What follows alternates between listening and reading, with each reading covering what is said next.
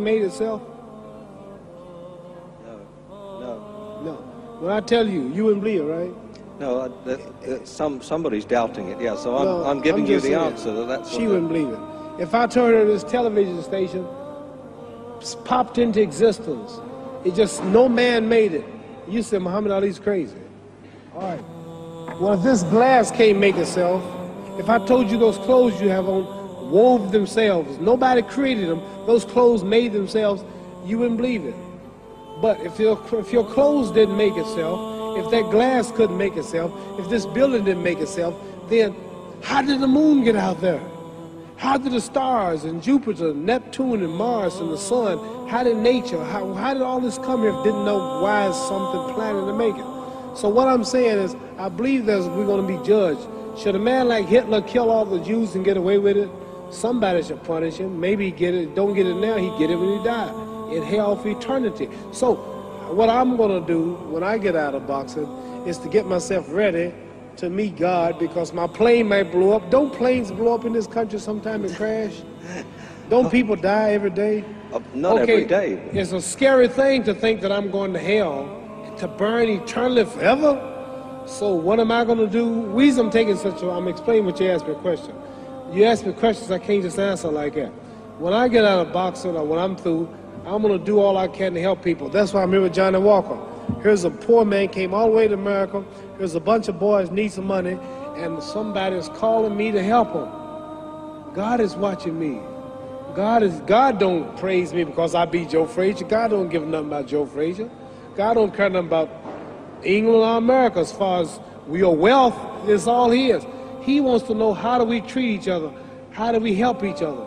So I'm gonna dedicate my life to using my name and popularity, helping charities, helping people, uniting people, bring people bumming each other because of religious beliefs. We need somebody in the world to help make peace. So when I die, if there's a heaven, I want to see it. Because we live how long? 80 years? The odds are everybody in this room, some of you going to be dead 20 years from now, some of you going to be dead 50 years from now, some are going to be dead 30, and some are going to be dead 60, 70 years from now. We all going to die soon. And if you live to be, say, 125 years old, which we don't do, right? Let's say we live to be 250 and you can have sex for 145 of those years. You're going to come to end after that. So, we don't have it about 80 years on earth. This is a test to see where will we spend our life in heaven and hell. This is not the life now. Your real self is inside you. Your body gets old. Some of you go to look at the fridge, look, you don't have no teeth. Your hair is leaving you. Your bodies get tired. But your soul and your spirit never die. That's going to live forever. So your body is just housing your soul and spirit. So God is testing us on how we treat each other, how we live, to see where our real home be in heaven. So this physical stuff don't last for so long. So my car, this building is going to be here when the man who built it dead. There have been many kings and queens of England. They're all dead. After this one is gone, another one will come. So we don't stay here. We're just trustees. We don't own nothing. Even your children are not yours. If you think I'm lying, your wife is not yours. You don't own your children. You don't own your family. So what am I saying? The most important thing about life is what's going to happen when you die. Are you going to go to heaven or hell? And that's eternity. How long is eternity? Let's imagine. Take the Sahara Desert. There's a lot of sand on the Sahara Desert, right? Then take, imagine that one grain of sand represents a thousand years, and when you in hell burning, when you die and go to hell, you're going to burn forever and ever and ever, no end. How long is that? Give you an idea how long eternity is. Take the Sahara Desert, and I told you to wait a thousand years. And every thousand years, I want you to pick up a grain of sand until the desert is empty. Okay, wait a thousand years, pick up the first grain. Wait another thousand years before you get the next grain. Keep that up until there's no more sand in the desert.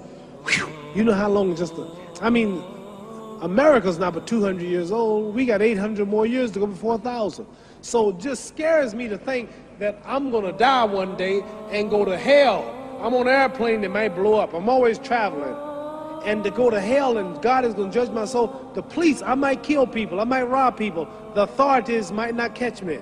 The FBI, Scotland Yard might not catch me, but when I die, somebody's watching me and keeping count, and I can't get away, and I'm gonna burn forever and ever and ever. I'll go to heaven. So what am I gonna do when I'm through fighting? I only have 16 years to be productive, get myself ready to meet God and go to the best place. Don't that make sense? Thank you.